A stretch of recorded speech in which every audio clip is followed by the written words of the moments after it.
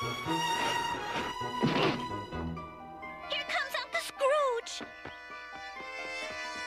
Give it some gas, lad. Actually, we use dilithium crystals now. Unleaded, of course. Whatever, move it. What are you going to do now, Uncle Scrooge? I've got to find a way to get back to my past. You mean back to when times were better? Oh, take us with you, away from Magica and your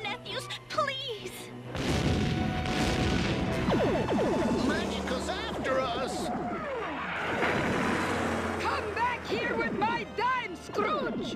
Did you say Scrooge? Of course. Who else would want number one dime? But how? He disappeared 40 years ago. Who do you think made him disappear, fools? Now watch me as I use my sands of time to make him disappear again. Permanently. You can't do that to our Uncle Scrooge. Yeah. Let go, you goons! We're going to crash!